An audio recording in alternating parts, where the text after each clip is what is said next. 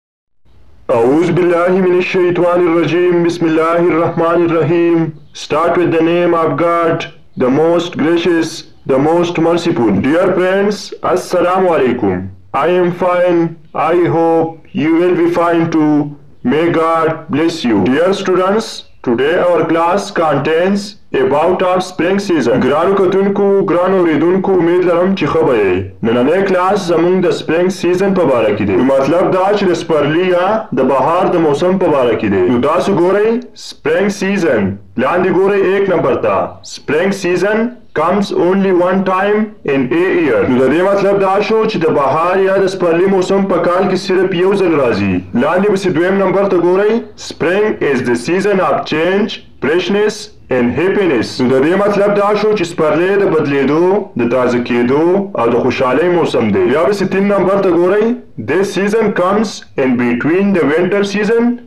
In summer season، دا موسم د یخنۍ او د ګرمۍ په مینځ کې راځي، نو چې داسې خبره تاسو په پښتو کې کوئ نو د دې لپاره په انګلیش کې راځي This season comes in between the winter season and summer season لاندې پسې چار نمبر ته ګورئ Trees and plants become green in this season په دې موسم کې ونې او بوټي شنه کېږي، نو چې داسې خبره تاسو کوئ نو د دې لپاره په انګلیش کې راځي Trees and plants become green in this season بیا پسې پانچ نمبر ته ګورئ In this season garden are full of colorful flowers نو د دې مطلب دا شو چې په دې موسم کې باغونه د مختلف رنګونو د ګلونو نه ډک شي لاندې پسې چه نمبر ته ګورئ Spring season is the king of all season نو د دې مطلب دا شو چې د پسرلي موسم د ټولو موسمونو باچا دی نو چې داسې خبره تاسو په پښتو کې کوئ نو د دې لپاره په انګلیش کې راځي Spring season Is the king up all season بیا وسی مخکی ګورئ ست نمبر ته Spring season starts from the month of March and to the end of May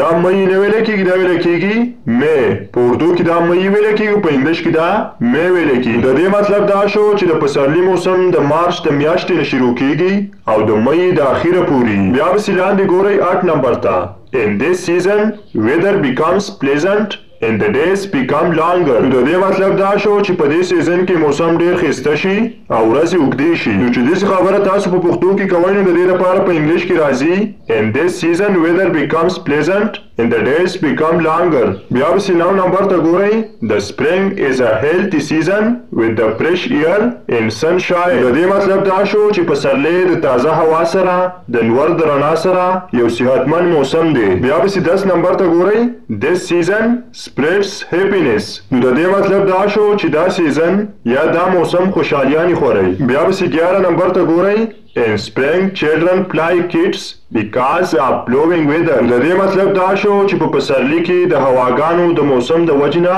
ماشومان پتنګان الوځي لاندې پسې باره نمبر ته ګورئ It is the most pleasant season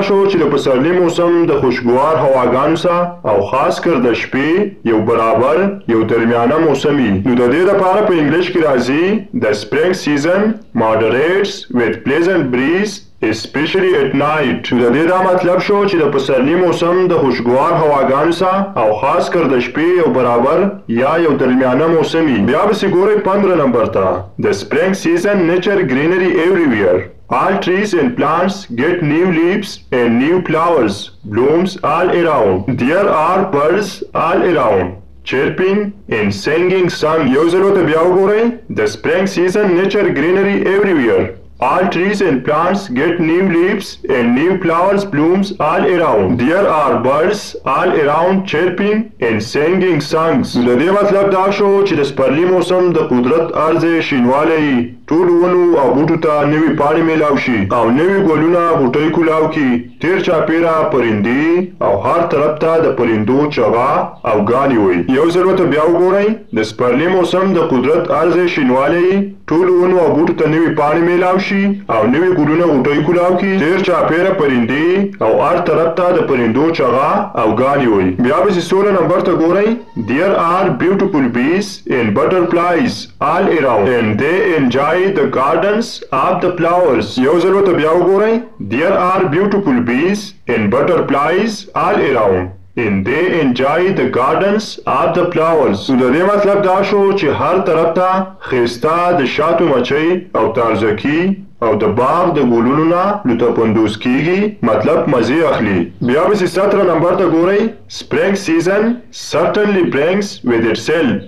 many healthy benefits. One important benefits of the spring season in the mental boost, winter season can cause depression and anxiety. In many people, spring season replace those feeling with fresh.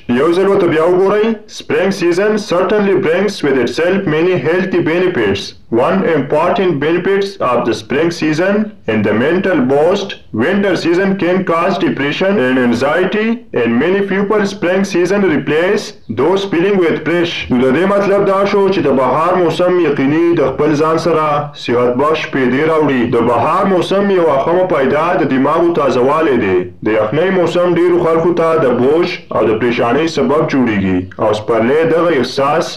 په تازګۍ کې بدل کړي. یو ځل ورته بیا وګورئ. د بهار موسم یقیني د خپل ځان سره صحت بخش پیدې راوړي. د بهار موسم یوه خمه پیدا د دماغو تازه والی دی. د یخنۍ موسم ډېرو خلکو ته د بوج او د پرېشانۍ سبب جوړېږي او سپرلی دغه احساس په تازګۍ کې بدل کړي. بیا پسې ګورئ اټاره نمبر ته، Spring season is certainly the best season. اینی ویر آن د ارت، سپرنګ برینګس جای اینډ هیپینیس یو ځل ورته بیا وګورئ، سپرنګ سیزن ایز سرټنلی د بیسټ سیزن اینی ویر آن د ارت، سپرنګ برینګس جای اینډ هیپینیس نو د دې مطلب دا شو چې د بهار موسم یقیني په ځمکه باندې بهترین موسم دی او سپرلی مزې او خوشحالیانې راوړي بیا پسې مخکې ګورئ انیس نمبر ته Which is your favorite season؟ نو د دې مطلب دا شو چې ستا د خوښې سیزن کوم یو دی؟ یو انسر، مای فیورټ سیزن ایز سپرینګ، زما د خوښې سیزن سپرلی دی. بیا پسې بیست نمبر ته ګورئ،